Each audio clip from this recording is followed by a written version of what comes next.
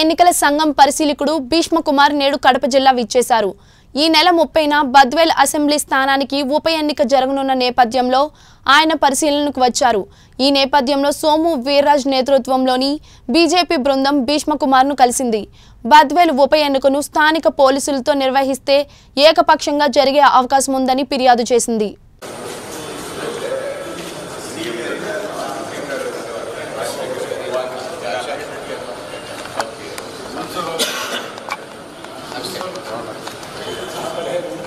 ఇంకా ఎక్కడ officer sir పైన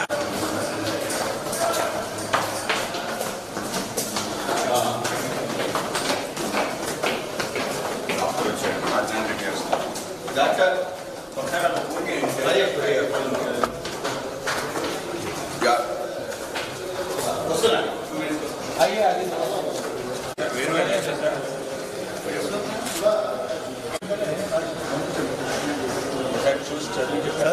చదవండి ఒకరికి ఎట్లా చూడండి పైన వేరు వేరే వేరు వేరు లేదు మెయిన్ సబ్జెక్ట్ వేరు కదా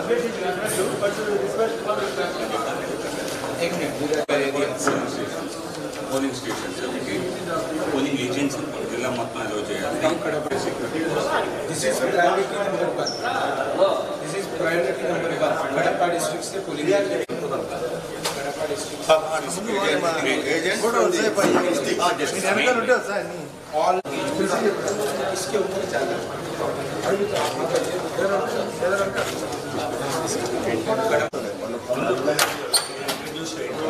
then the, some of us can support yes but then where I was not going to and and we we revenue please change change theatre theatre theatre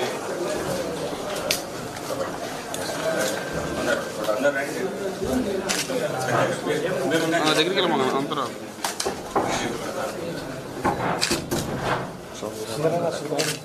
నా దగ్గరికి వెళ్తారు సార్ సార్ అందరినీ cover చేయమ్మా ధన్యవాదాలు sir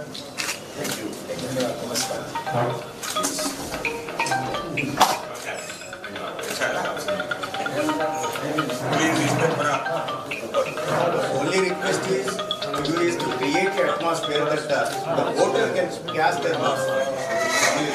parading. The parading process is a very, the. Plan.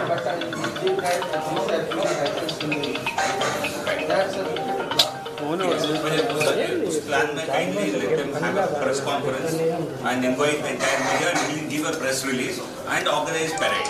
ये हमारे special thank you तभी हमारा पूरा फायदा होगा फोर्सेस को लगाने ठीक है थैंक यू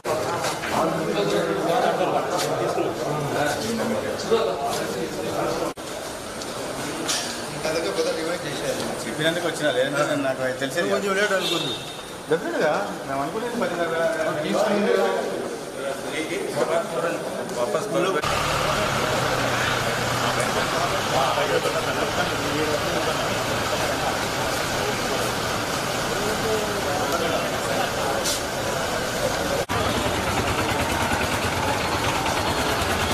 కలిసిన సందర్భంగా ఈ జిల్లా పరిస్థితుల గురించి బద్వేలు నియోజకవర్గంలో ఒక గత చరిత్ర గురించి వారికి కూలంకషంగా వివరించడం ఇక్కడ ప్రజలు స్వేచ్ఛాయుతమైన వాతావరణంలో ఓటు వేసుకోవాలంటే కేంద్ర బలగాల నియామకం తప్పనిసరి అని చెప్పడం జరిగింది. దానికి అనుగుణంగానే పదహైదు పారామిలిటరీ మిలి కంపెనీల పారామిలిటరీ ఫోర్సెస్ కంపెనీ కంపెనీల పారామిలిటరీ ఫోర్సెస్ని కేంద్ర ఎన్నికల స- కమిషన్ కేటాయించడం జరిగింది. దాని తర్వాత ఇక్కడ ఇవాళ ఈ ఎన్నికల స్పెషల్ అబ్జర్వర్గా ఉన్న అధికారిని కలవడం వారికి ముఖ్యంగా మూడు విషయాల మీద ఫిర్యాదు కానీ సలహాలు కానీ లేదా వినతి పత్రం కానీ అందించడం జరిగింది.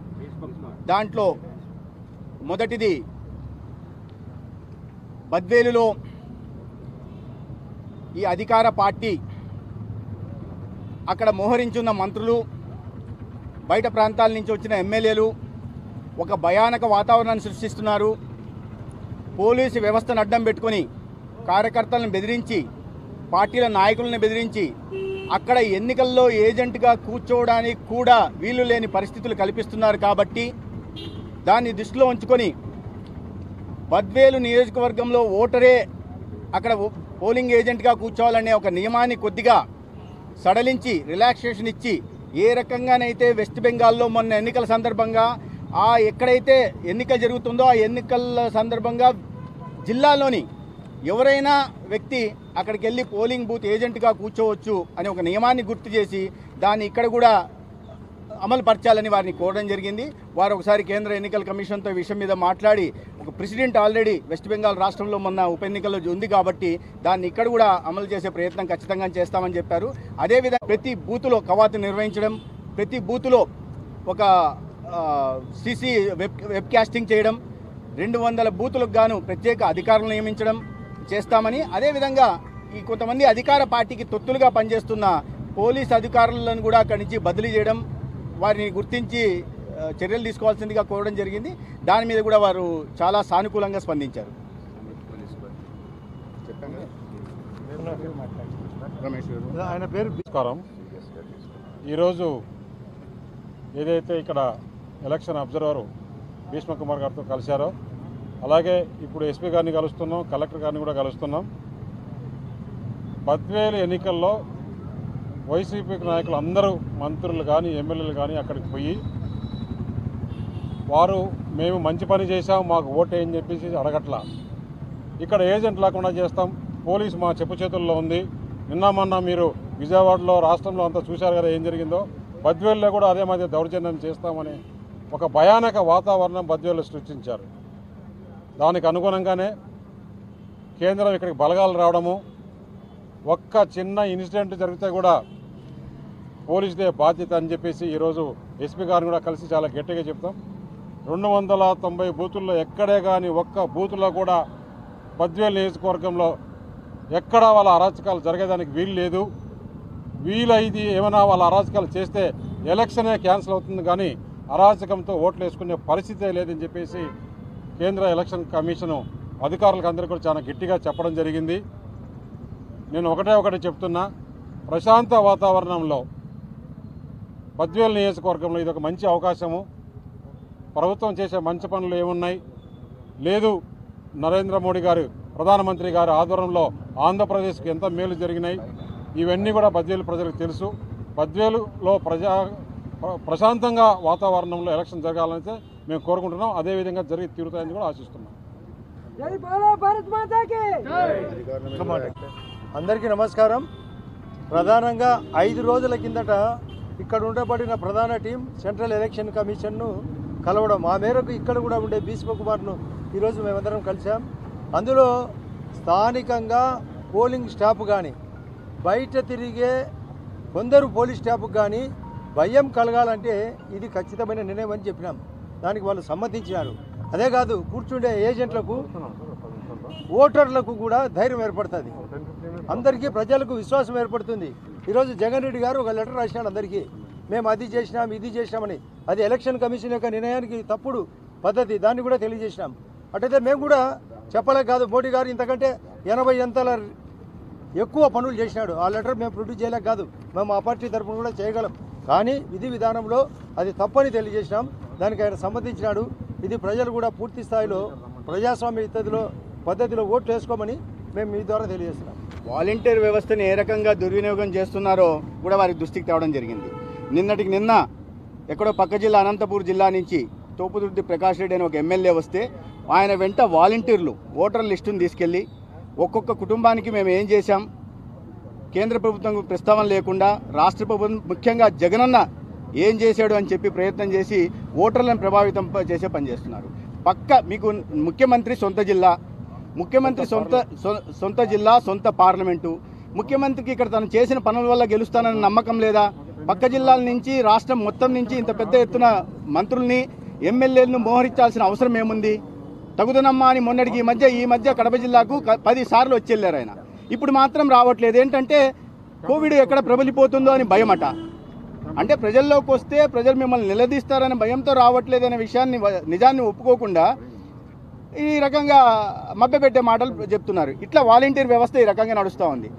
వాలంటీర్లకు ఎమ్మెల్యే పక్క రాష్ట్రం పక్క జిల్లా నుంచి వచ్చిన ఎమ్మెల్యేకి ఏం సంబంధం? ప్రజలు గుర్తిస్తున్నారు. ఈ విషయాన్ని కూడా ఎలక్షన్ కమిషన్ దృష్టికి తీసుకెళ్ళడం. జరిగింది బాబు ఇది ఆయన దాష్టిక. వందకు వంద శాతం పెడుతుంది. ఇది ఒకసారి గమనించండి. చూడండి ఇది కొత్త కొత్త విధానం. ఎలక్షన్ కమిషన్ ఫార్ములాకు వ్యతిరేక విధానం.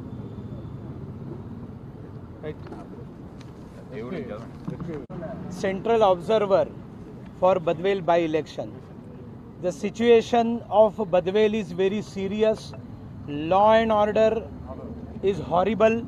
Yesterday, I visited one village. Earlier, that village was totally dominated by YCP. But because of the frustration from ruling party, many youth from YCP yesterday joined BJP. I visited that village. YCP leaders were threatening that we will cut to pieces if you work for BJP and if you go as polling agents.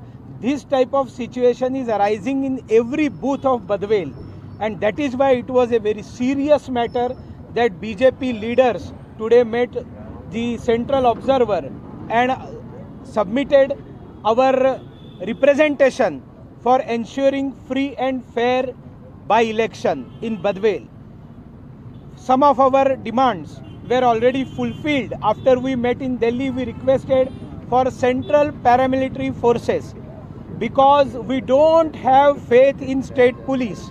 State police is acting as YCP cadre. It is highly objectionable. State police is threatening the other parties and asking why you are uh, meeting with BJP people.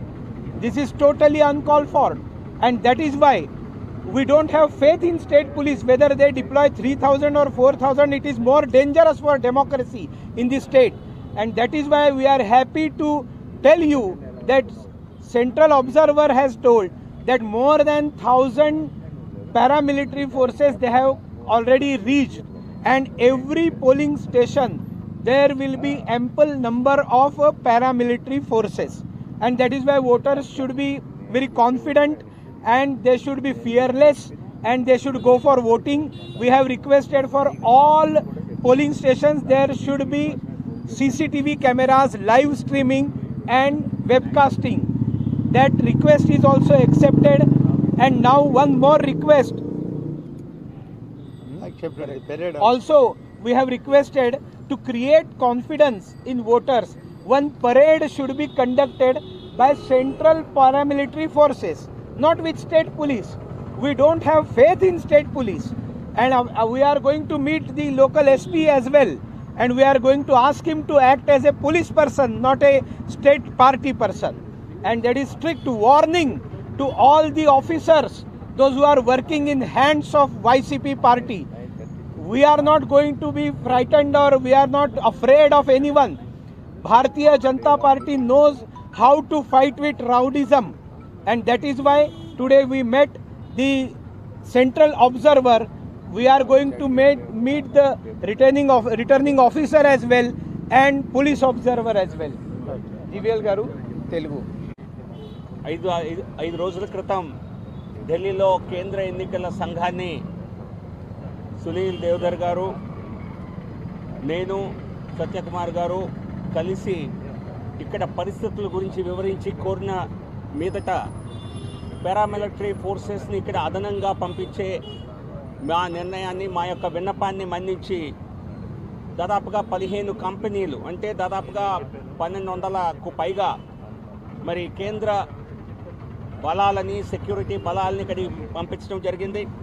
మేము వారిని అన్ని మండల head క్వార్టర్స్లో వీలైతే అన్ని పంచాయతీల్లో కూడా ఈ ఇక్కడికి వచ్చినటువంటి కేంద్ర బలగాలు పెరేడ్లు నిర్వహించి ఎన్నికల కంటే ఒక రోజు రెండు రోజుల ముందు ఇటువంటి పెరేడ్ నిర్వహించి ప్రజల్లో పార్టీ మా పార్టీ కార్యకర్తల్లో మరింత మనోధైర్యాన్ని నింపే విధంగా చేయాలని ఈ ఎన్నిక ఈ జిల్లాలో ఎన్నికలు ఫ్రీ అండ్ ఫెయిర్గా జరిగే జనరల్గా సంస్కృతే లేదని ఇక్కడ పరిస్థితులు చాలా విపరీతంగా ఉంటాయని ఇంకా ప్రస్తుత ప్రభుత్వ హయాంలో ఇంకా దారుణంగా ఉన్నాయి. కనుక సెక్యూరిటీ బలాలు పూర్తిగా ఇక్కడ పనిచేయాలని కోరటం జరిగింది. దానికి వారు సానుకూలంగా స్పందించారు. ఒక ప్రెస్ కాన్ఫరెన్స్ కూడా నిర్వహించి ఏ రకంగా ఎక్కడ ఎంతమంది కేంద్ర సెక్యూరిటీ బలాలని మరి వారిని పెట్టబోతోంది వారు ఎటువంటి కార్యక్రమాలు చేపట్టబోతోంది వీటన్నిటిని కూడా మీడియా ద్వారా ప్రజలకు తెలియచేయాలని కోరాం. మీడియా మిత్రులందరూ కూడా దీనికి విస్తృత ప్రచారాన్ని కల్పించి ప్రజల్లో మరి నమ్మకం కలిగించే విధంగా ప్రజాస్వామ్యాన్ని మరింత మనందరం పరిరక్షించుకునే విధంగా మీడియా మిత్రులందరూ సహకరించాలి అని మిమ్మల్ని కోరటం జరిగింది. అలాగే రాష్ట్ర జిల్లా ఈ జిల్లాలో వాలంటీర్లు కానివ్వండి ఇతర ప్రభుత్వ అధికారులు కానివ్వండి ఆశా వర్కర్లు కానివ్వండి వీళ్ళందరినీ కూడా మరి స్థానిక కార్యకర్తల్లాగా వాడుకుంటున్నారని వారిపై చర్యలు తీసుకోవాలని మరొకసారి విన్నపం చేశాం. వీరిని ఎన్నికల వరకు బయటికి పంపించాలని ఎన్నికలు అయ్యే వరకు వారు అక్కడ ప్రజల్ని ఏ రకంగానో ప్రభావితం చేయకుండా వారిపై కట్టడి చేయాలని మీటింగ్ చాలా బాగా జరిగింది. అనేక సుజ సజ సజెషన్స్ మేము ఏవైతే చేశామో రిక్వెస్ట్లు చేశామో దాన్ని వారు సానుకూలంగా విన్నారు. కేంద్ర ఎన్నికల సంఘం దృష్టికి తీసుకువెళ్తామని చెప్పారు. మేము కూడా మరొకసారి కేంద్ర ఎన్నికల సంఘాన్ని కూడా ఇక్కడి నుంచి కూడా సంప్రదించి వా- మరి ఈ చర్యలు అనుగుణంగా ఉండేలా. ఈ ప్రభుత్వం మాకు ఎదురు లేదు అనుకుంటే మరి వైసీపీ ఇటువంటి ఎన్నికలో మాకు అసలు తిరుగులేదు అన్నప్పుడు మరి ఎందుకు భయపడుతోంది? మరి ఎందుకు అరాచకాలు చేయాలని ప్రయత్నిస్తున్నారు? అందరూ మీ వైపు ఉంటే భయం ఎందుకు మీరు పంపించి పబ్లిష్ చేసిన ప్యాంప్లెట్లో ఇది కూడా వేయాల్సింది. గుడ్డి రేట్లు పెంచేశాం. నాలుగు రెట్లు పెంచి ఘనత సాధించామని. మరి ఇంట్లో కనీసం వారి గుర్తైనటువంటి ఫ్యాన్కను ఏదో ఒక రకంగా ప్రభావితం చేసి భయపెట్టి ఆందోళన సృష్టించి ఎన్నికలు గెలవటం అది నిజమైన సంస్కృతి కాదు. అది ఖచ్చితంగా మీ యొక్క లో లోటుతనాన్ని మీ యొక్క చేతకానితనాన్ని తెలియజేస్తుంది. ధన్యవాదాలు. చెప్పిన అన్ని అంశాలని ఎలక్షన్ అధికారి గారు సావధానంగా విన్న తర్వాత మేమన్నీ కూడా రూల్స్ అండ్ రెగ్యులేషన్ ప్రకారం చెప్పిన అంశాలని వారు ఆన్ పేపర్ పెడతారు. పెరేడ్ ఎన్ని చోట్ల చేస్తారు. అట్లనే వాలంటీర్ వ్యవస్థ వీటిలన్నిటి మీద వారికి డీటెయిల్డ్గా ఎక్స్ప్లెయిన్ చేసిన మీదట అధికారులతో వారు మాట్లాడుతున్నారు అట్లని సిస్టమ్ అంతా కూడా ఒకసారి ప్రెస్లో చెప్పమని చెప్పాం వారికి. తప్పకుండా అది కూడా ఎస్పీ ద్వారా తెలియజేస్తూ ఉన్నారు. మేము ఎన్నికల్ని భారతీయ జనతా పార్టీ సీరియస్గా తీసుకున్నాం. కాబట్టే మా పెద్దలు ఢిల్లీలో కలిశారు. మరలా ఇక్కడోసారి అధికారిని కలవడం జరిగింది. ధన్యవాదాలు. Thank you